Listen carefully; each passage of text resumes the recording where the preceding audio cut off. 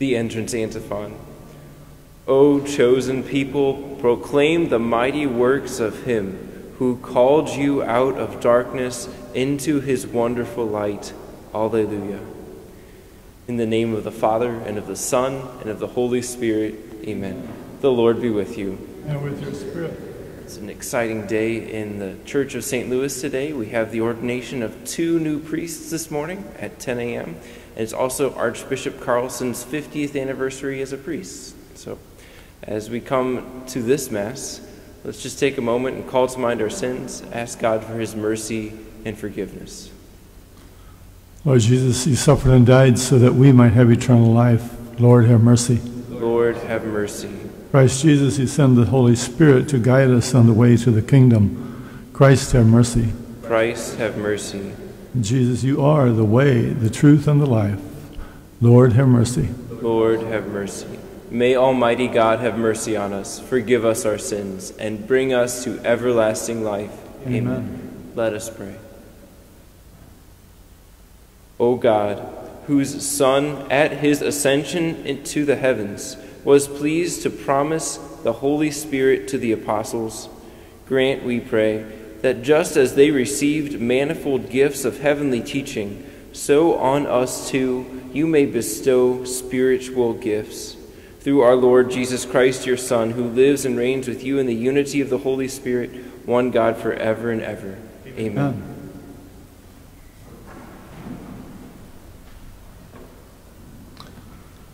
A reading from the Acts of the Apostles. After staying in Antioch for some time, Paul left and traveled in orderly sequence through the Galatian country and Phrygia, bringing strength to all the disciples. A Jew named Apollos, a native of Alexandria, an eloquent speaker, arrived in Ephesus. He was an authority on the scriptures.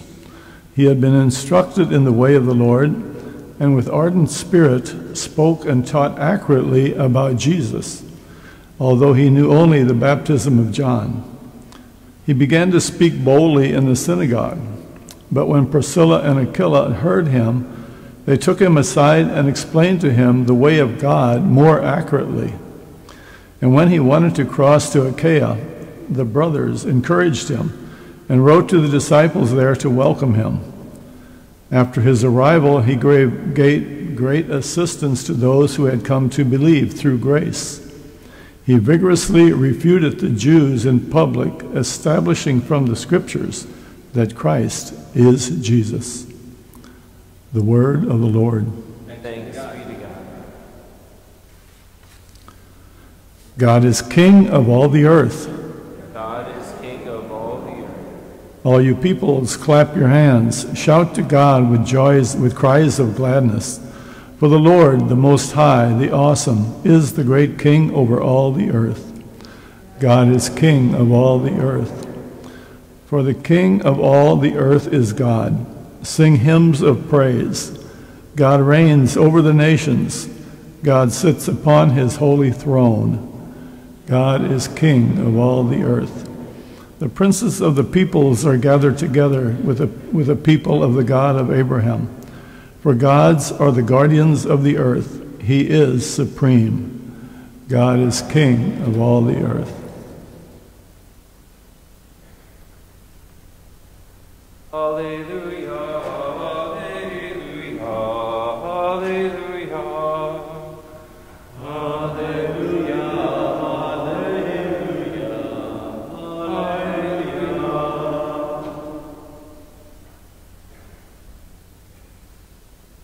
The Lord be with you. A reading from the Holy Gospel according to John.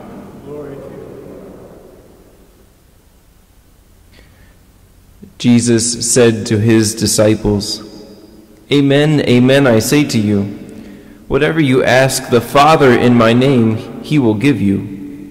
Until now you have not asked anything in my name.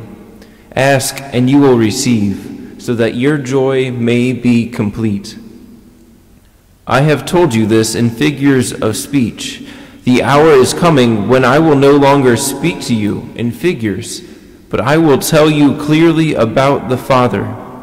On that day you will ask in my name, and I do not tell you that I will ask the Father for you, for the Father himself loves you, because you have loved me and have come to believe that I came from God. I came from the Father and have come into the world. Now I am leaving the world and going back to the Father. The Gospel of the Lord. Praise.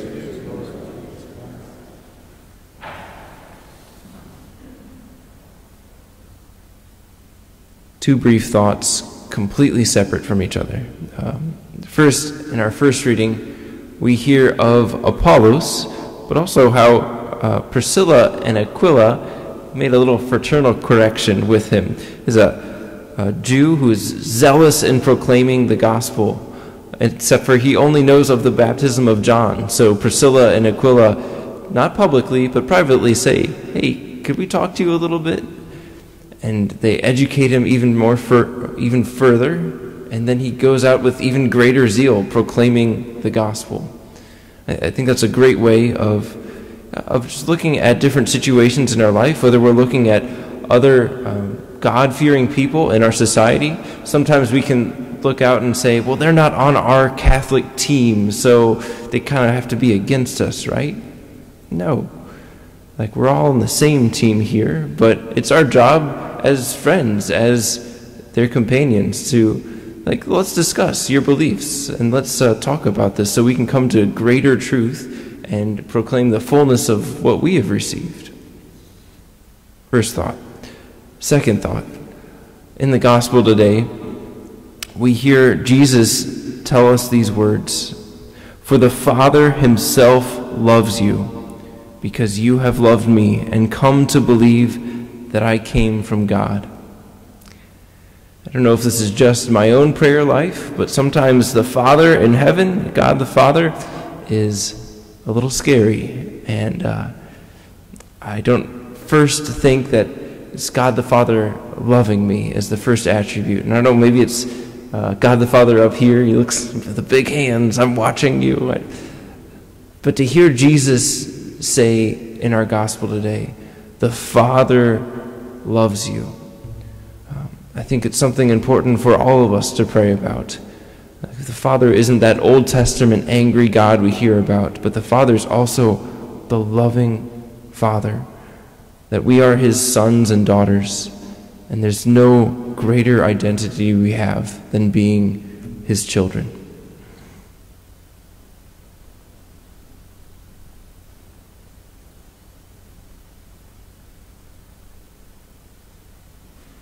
And turning to the Father who loves us, let us offer to him our petitions.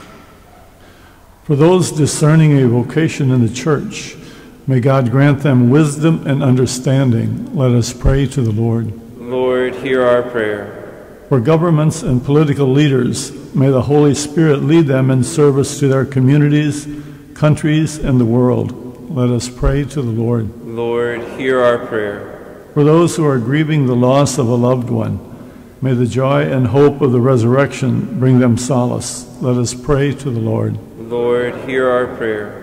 For the newly baptized, may, they, may the Holy Spirit continue to bring them ever closer to God. Let us pray to the Lord. Lord, hear our prayer. For the faithful departed, especially for Peggy O'Hara, for whom this Mass is being offered, may they enjoy eternity in heaven with the risen Christ. Let us pray to the Lord. Lord, hear our prayer. Let's take a moment to offer our own personal intentions to God.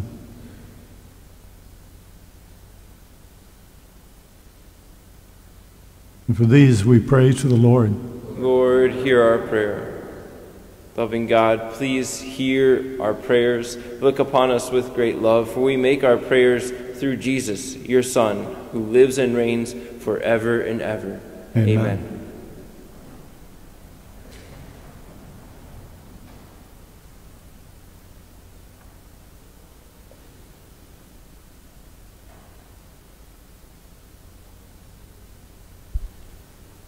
Blessed are you, Lord God of all creation, for through your goodness we have received the bread we offer you, fruit of the earth and work of human hands. It will become for us the bread of life. Blessed be God forever.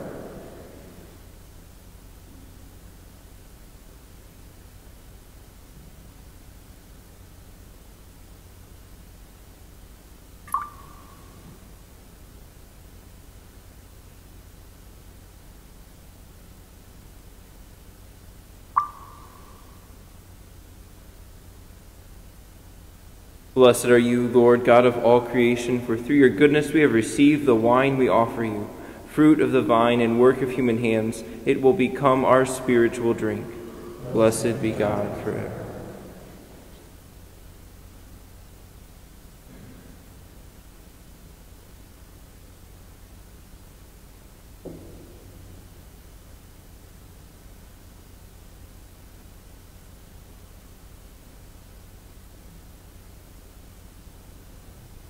Pray, brothers and sisters, that my sacrifice and yours may be acceptable to God, the Almighty Father.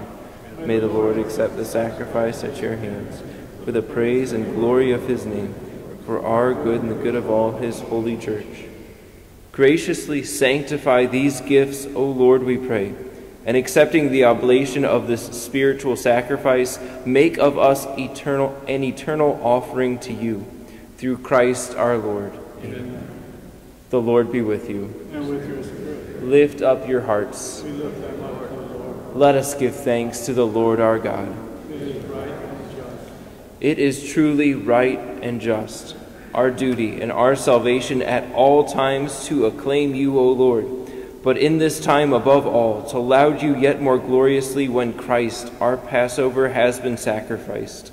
For he is the true Lamb who has taken away the sins of the world. By dying, he has destroyed our death, and by rising, restored our life. Therefore, overcome with paschal joy, every land, every people exults in your praise, and even the heavenly powers with the angelic hosts sing together the unending hymn of your glory as they acclaim Holy, holy, holy Lord, God of hosts, heaven and earth are full of your glory. Hosanna in the highest. Blessed is he who comes in the name of the Lord. Hosanna in the highest.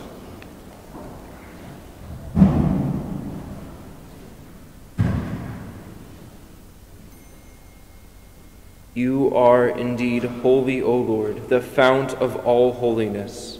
Make holy, therefore, these gifts, we pray, by sending down your Spirit upon them like the dewfall, so that they may become for us the body and blood of our Lord Jesus Christ. At the time he was betrayed and entered willingly into his passion, he took bread and giving thanks broke it and gave it to his disciples, saying, Take this, all of you, and eat of it, for this is my body, which will be given up for you.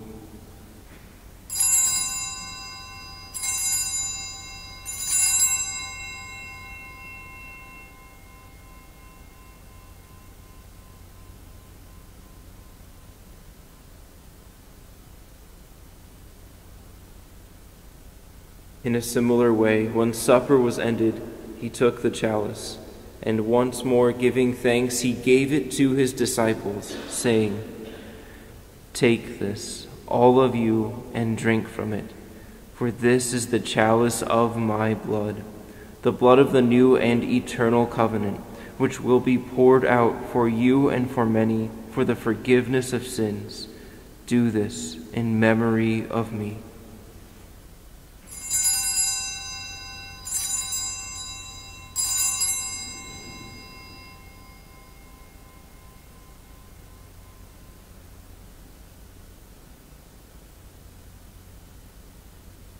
The mystery of faith. When we eat this bread and drink this cup, we proclaim your death, O Lord, until you come again. Therefore, as we celebrate the memorial of his death and resurrection, we offer you, Lord, the bread of life and the chalice of salvation, giving thanks that you have held us worthy to be in your presence and minister to you. Humbly we pray that partaking of the body and blood of Christ, we may be gathered into one by the Holy Spirit. Remember, Lord, your church spread throughout the world and bring her to the fullness of charity, together with Francis our Pope and Robert our Bishop and all the clergy. Remember also our brothers and sisters who have fallen asleep in the hope of the resurrection and all who have died in your mercy. Welcome them into the light of your face. Have mercy on us all, we pray that with the Blessed Virgin Mary, Mother of God, with blessed Joseph, her spouse, with the blessed apostles, and all the saints who have pleased you throughout the ages, we may merit to be co heirs to eternal life, and may praise and glorify you through your Son, Jesus Christ. Through him, and with him, and in him. O God, Almighty Father, in the unity of the Holy Spirit, all glory and honor is yours forever and ever. Amen.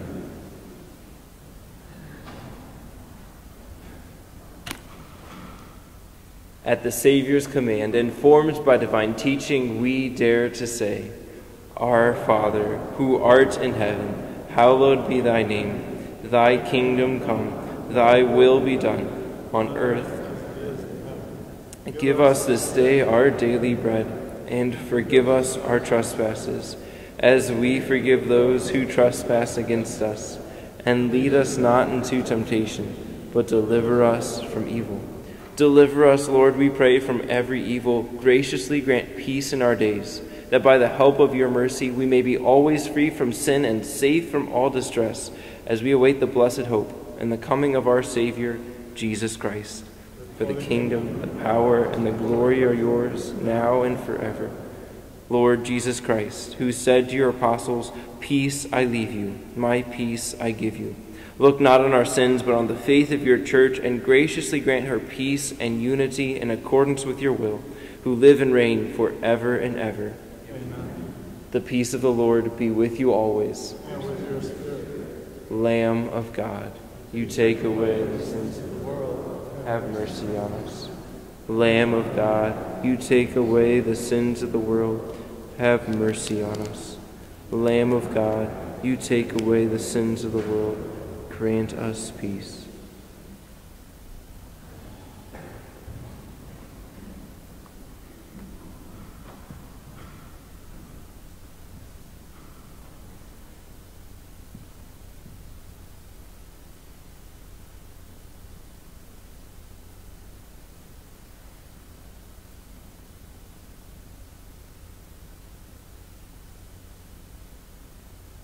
Behold the Lamb of God. Behold him who takes away the sins of the world. Blessed are those called to the supper of the Lamb. Lord, I am not worthy that you should enter under my roof, but only say the word, and my soul shall be healed.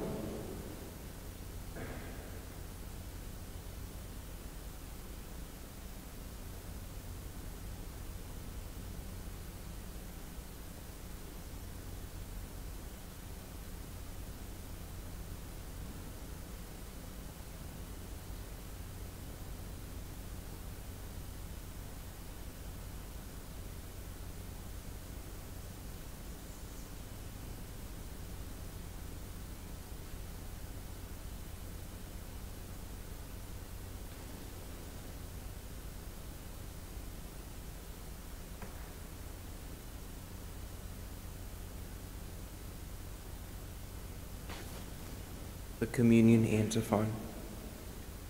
Father, I wish that where I am, those you gave me may also be with me, that they may see the glory that you gave me. Alleluia.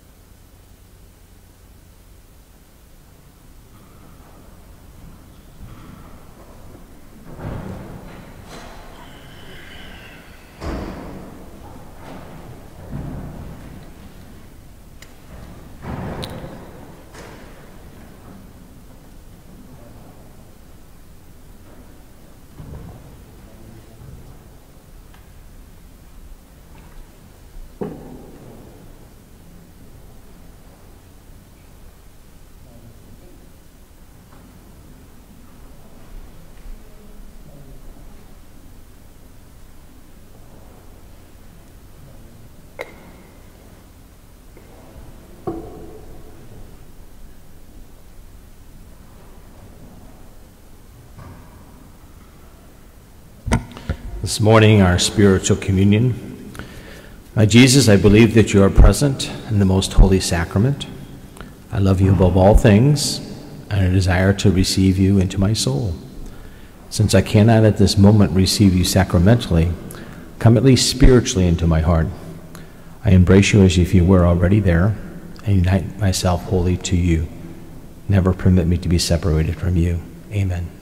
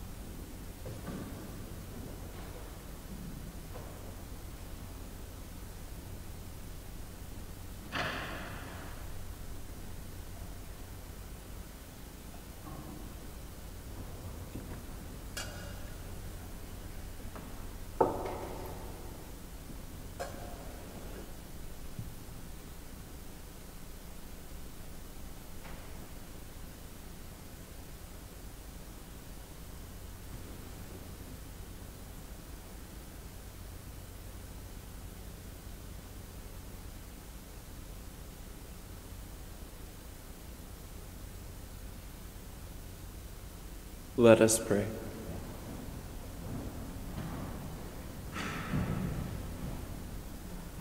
We have partaken of the gifts of this sacred mystery, humbly imploring, O Lord, that what your Son commanded us to do in memory of him may bring us growth in charity through Christ our Lord. Amen. Uh, we'll have confessions like normal right after Mass. The Lord be with you. And with your spirit. May Almighty God bless you, the Father, and the Son, and the Holy Spirit. Amen. Go in peace, glorifying the Lord by your life. Thanks be to God.